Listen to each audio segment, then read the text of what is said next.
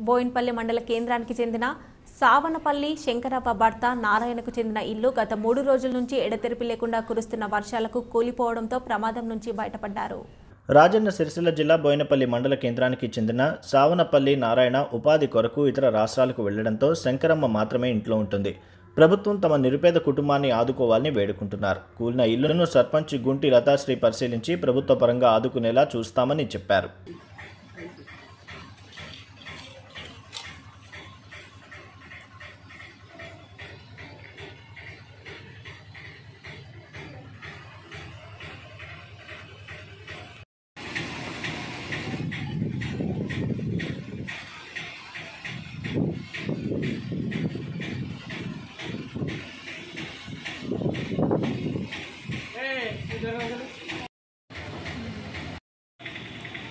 ఒకటే ఇల్లు ఇల్లు ఊరింది. ఏదైనా మీరు సాయం చేస్తే మీకు కొంచెం అదైతే. నువ్వు చెప్పాలి. బోయినపల్లి ఊరు రాజన్న సిరిసిల్ల జిల్లా ఈ వాహనాలకు చూడండి ఎట్లా అయిందో మాకు ఏం ఆధారం లేదు. మా నాన్న ఇప్పటికీ ముసోడైనా దేశం ఇంకా రాలేదు. బొ- బొంబాయిలో ఆగిండు ఈ పరిస్థితికే.